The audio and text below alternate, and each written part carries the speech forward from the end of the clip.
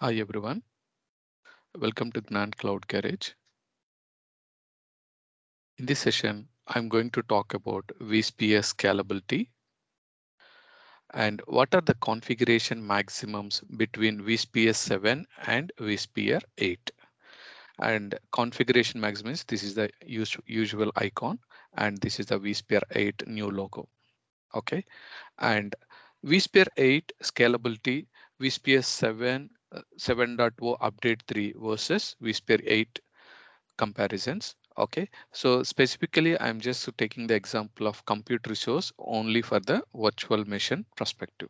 Okay, so within the virtual machine perspective, virtual CPUs per virtual machine in vSphere 7.0, the maximum virtual CPUs we can assign 768. The count is similar in a vSphere 8 version also. And another configuration maximum is memory per virtual machine. That means each virtual machine, how much maximum memory we can assign. That is up to 24 terabyte. And this uh, maximum size is same in a vSphere 8 also. Okay, and another difference is virtual GPU graphical processing units per virtual machine.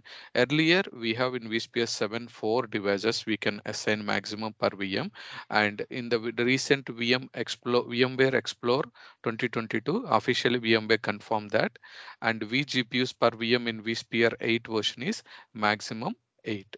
So it's easy to remember based on our version vGPUs also we can assign maximum 8 okay? And now let's understand the compute resource in a maximum host perspective okay? And the cpu physical cpus per esxi host maximum in 7.0 is 896 and the count is same in vsphere 8 also. And memory per esxi host maximum is 24 terabyte and even in the vsphere 7 and 8 both the maximum limit is similar 24 terabyte.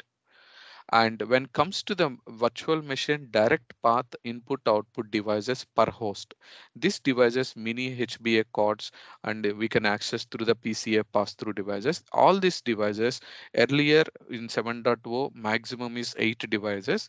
When comes to the latest version vSphere 8, the maximum is up to 32 devices.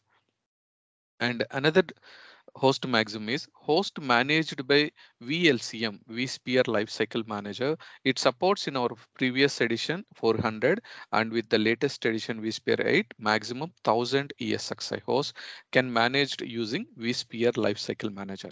Okay, and now let's understand the compute resource in a cluster perspective and host per cluster in our previous edition 96 vsphere 7.0 and even in our vsphere 8 also still the count is same 96 maximum ESXi hosts we can add within one single cluster.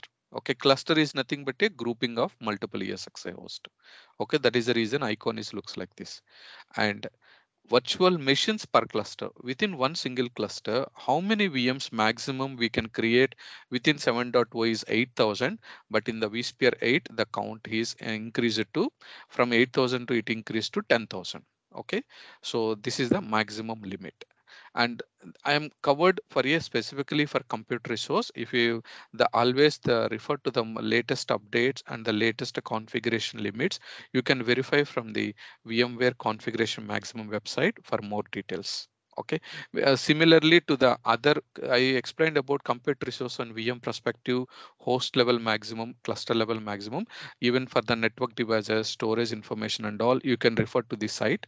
So maybe soon vmware update all the vsphere 8 configuration maximums in this website. And this information i collected based on the v, uh, vmware explore sessions. Okay. And now let's quickly recap VMware vSphere 8 scalability configuration maximum. And here one key point is VMware has given an official configuration maximum, but in the real world scenario, if you want to increase our virtual machine CPU, memory, disk, or any of the virtual GPU graphical processing unit devices and all, we always make sure that we have a enough resources within our data center.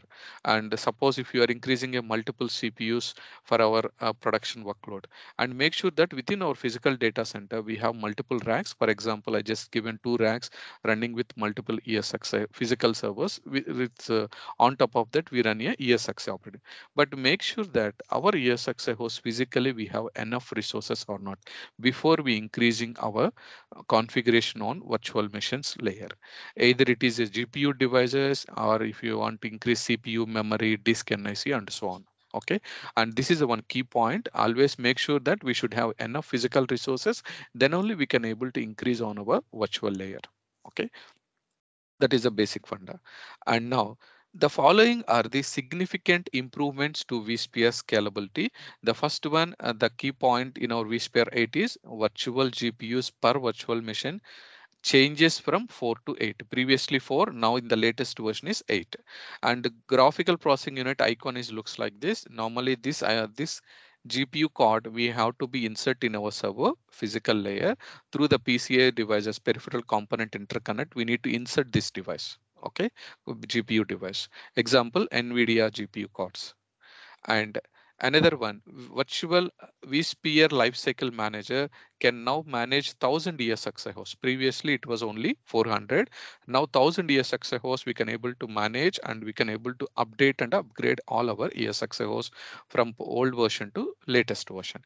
So, so ESXi host means multiple ESXi hosts. The symbol is looks like this icon.